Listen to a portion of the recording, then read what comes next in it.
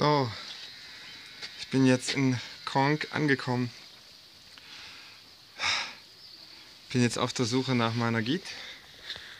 Und äh, wow, ich habe heute das erste Mal Roadrunning ausprobiert, nachdem ich sehr motiviert gewesen bin. Bin echt gut platt. Äh, das Wetter ist so total dazwischen. Schiff die ganze Zeit. Es war ein mega Abstieg, jetzt 300 Meter. Schlamm, Schmodder. Aber jetzt hat sich das gelohnt. Das ist eine mega geile Altstadt. Ähm ja. Hm. Und heute Abend gibt es irgendwie in der Kirche noch ein Konzert, aber ich weiß nicht so ganz genau, ob ich da noch hingehen will. Genau. Jetzt suche ich erstmal meine Giet.